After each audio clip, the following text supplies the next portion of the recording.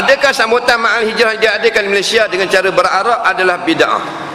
Dia bid'ah bid'ah asal ni ma laisa lahu misalu fi zamanin nabi ataupun tarikh yang pelbagai.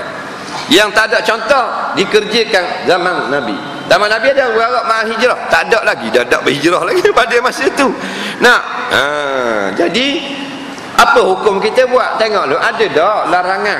Ada tak kata haram? Berarak manjur ada tak kata haram? Ada tak? Tak ada. Tak ada. Tak ada haram. Berarak nak berarak pun. Nah orang tanya Imam Suyuti. Orang tanya Syekhul Azhar bila dah tu tak ada suruh Nabi dan tak ada larang kita berarak jadi guna tengok kalau menyebabkan jadi tertegak ataupun uh, masyhurnya syiar Islam dapat pahala. Kan ini dia bertolong pada nak memajukan agama Islam sekarang ni duk balah pula Marah berarak pula. Tak ada masalah benda-benda gini. Benda remeh-temeh. Faham? Nah, Jangan buat benda hak pelik-pelik lah. Berarak minum arak Macam di Morocco. Berarak mau lidur rasa Lepas tu minum arak. Nah, ini haram. Nampak? Jangan-jangan kita kata berarak ni wajib. Faham tak? Dan yang nak berarak tu biar macam molek.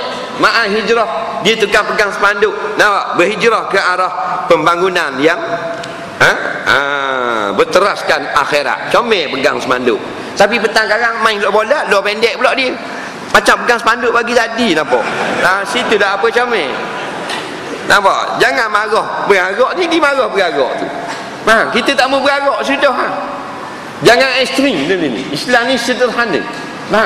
ha. nak, nak zaman sekarang macam-macam kecanggihan nak pergi marah orang beragak tak marah. Bukan dia beragak telanjang betul tak ada contoh. Tapi sekurang-kurangnya ada. Ha. jangan kita anggap benda ni wajib dan sebagainya. Jangan balas benda-benda remeh-temeh tak mau beragak duduk di rumah. Nak beragak pergi beragak nak beragak tutup aurat. Biar kena molek. Nah walaupun benda tu bida'ah macam sekarang ni ngajar pakai mikrofon bida'ah belaka ni. Nah bang-bang tu pakai mikrofon pakai pembulsa suara pakai bila payah tu bida'ah belaka. Tapi tengoklah ada larangan tak? Tak ada larangan. Membantu tak? Membantu. Dapat pahala orang yang beri piti beli speaker. Faham? Ha, biar terbuka sikit akal kita. Ha, baru nak canggih. Tidak ada canggih ya kita.